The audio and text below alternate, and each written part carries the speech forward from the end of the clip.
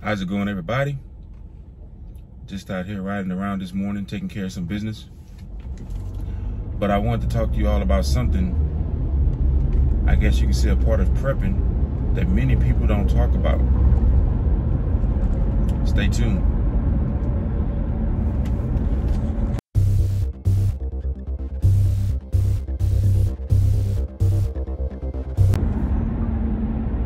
Okay, everybody, welcome back. First of all, before we get started, please give this channel a thumbs up and please subscribe to the channel. Definitely appreciate it. Helps me grow the channel, bring you more content. So I'm already thanking you in advance. Now, the one part that most people don't think about when it comes to prepping or preparedness is the spiritual, mental, or psychological preparation. And what I mean by that is, are you ready to deal with certain things that you may see or you may face during an SHTF scenario? Let's just say you and your family are bug bugging in and someone comes to your door. It's a family, man, woman, children, and they look like they haven't eaten. You know, maybe they haven't eaten, or maybe they just look dirty or disheveled, whatever. Weak, or what they say, um, malnutrition.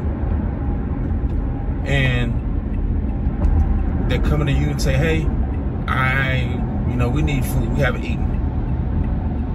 Now, your first response may be, hey, okay, yeah, we maybe we can help them out. Maybe. But at the same time, you notice there's something that's not quite right about them. You know, maybe they're a little sketchy.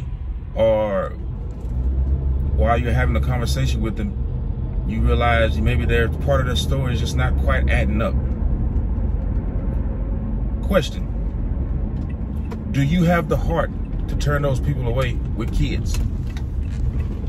Not because you just not because you're just that type of person, but because something's very sketchy about them. Something's not quite right, and they could possibly be lying to you. Do you have the heart to turn them away? That's a good question. Many people think that they would, but some people naturally are just givers carers, uh, nurturers. You know, those type of people may naturally, you know, want to try to help. Or maybe you're out, you, you're out and about and you're trying to bug out and you run across someone that's maybe being physically harmed. But you know you have to get to your bug out location. Time is of the essence, right? Do you have the heart to just pass them by so you can get yourself and your family to your bug out location in safety?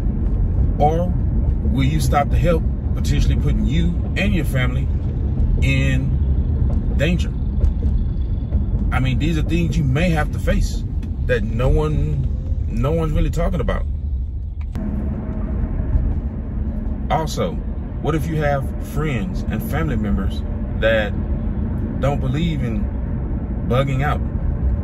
You, your family, your household are on your way to your bug out location, and they're like, no, we're staying here.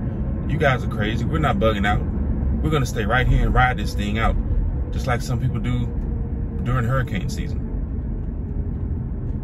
Are you willing to just say, okay, well, you know, whatever. See you when I see you. Are you willing to do that? Remember, we're talking about friends and family members here, people you communicate with and associate with all day, every day, for the most part. And they want to stay. When SHTF, when they know they should be bugging out, are you willing to leave them? See, these are things that may happen. Anyways, that's just what's on my mind this morning. If you have any comments, please leave them. Once again, once again, please uh, give this video a thumbs up. Please subscribe to the channel. And as always, before I let you go, get ready, stay ready. God bless.